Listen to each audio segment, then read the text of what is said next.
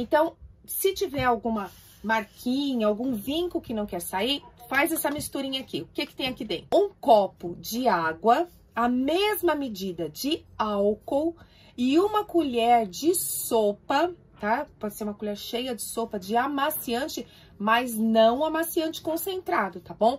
O amaciante concentrado, claro que ele vai deixar mais perfumado, mas aí sim pode manchar a roupa. Então, é o amaciante comum, sem ser o concentrado, uma colher de sopa. Vamos repetir então a misturinha mágica para você passar seus tecidinhos, ficar tudo lisinho e perfumado?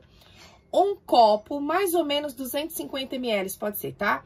Um copo de 250 ml de água, um copo de álcool e uma colher de sopa de amaciante sem ser o concentrado.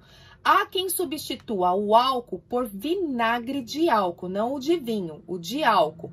E também dá certo. Faça seu teste aí, vai ver como seus tecidinhos vão ficar lisinhos, prontinho para você fazer seus projetos.